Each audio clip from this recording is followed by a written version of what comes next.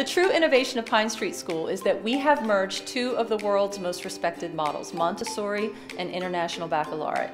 Separately, they're powerful models. Together, they are incredible. You have the hands-on, engaging tools of Montessori, and you have the global mindedness and inquiry-based learning of IB. Together, they're really a force. What we start with is very simple. They learn about what's concrete and what's relevant to them, and then they learn about themselves. Then they're a little older, they learn about their families. Then they learn about their community, their city, cultures, belief systems, and then they learn about the world. So we're constantly building on the previous knowledge to deepen the understanding of the bigger ideas. I see Montessori as such a concrete foundation. It puts all these tools in a learner's toolbox. IB just illuminates everything. So it takes a child's curiosity and just takes it to that next level. It takes the inquiry to the next level. And Montessori helps build the tools that they'll need to express their interests and their discoveries. Now, how many friends do we have? Vamos a contar.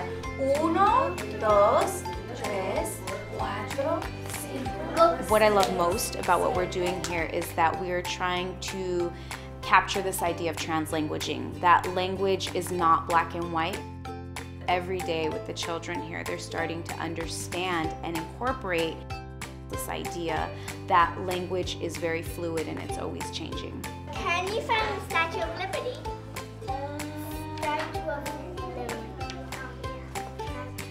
Here.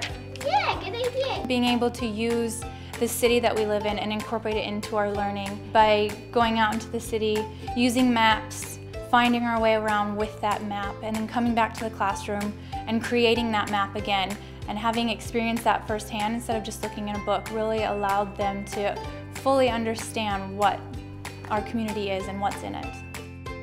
Pine Street School was designed to inspire learning.